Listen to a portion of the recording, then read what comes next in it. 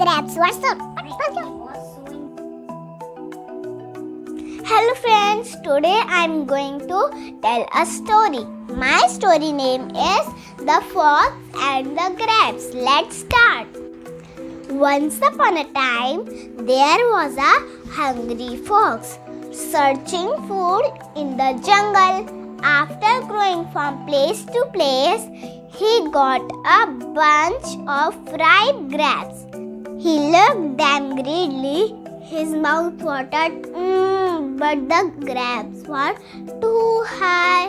He jumped and jumped.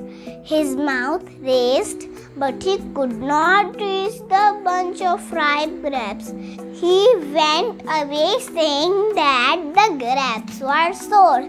Moral of the story is they don't speak ill if you don't get. Thank you. If you like my efforts, please like the video, subscribe to my channel. Stay tuned for more video. Till then, keep thinking, keep growing carry on your kiddos panty.